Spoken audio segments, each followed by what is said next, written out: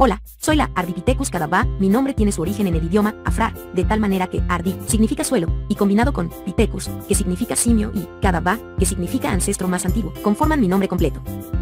Tengo una edad entre 5.8 y 5.2 millones de años que corresponde al periodo del Mioceno final. Mi especie está extinta.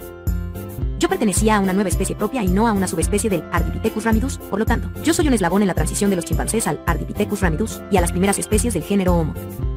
Mi cerebro tiene una capacidad craneal de 320 a 480 centímetros cúbicos. Yo tengo una altura como un niño o niña de unos 12 a 14 años. La estructura de los huesos de mis dedos indica que yo pude haber sido bípeda. Mis molares son más grandes que los de los chimpancés. Sin embargo, mis caninos inferiores y los premolares superiores son similares a los de los homínidos. Yo comía frutas y hojas y otros alimentos con fibra como por ejemplo nueces.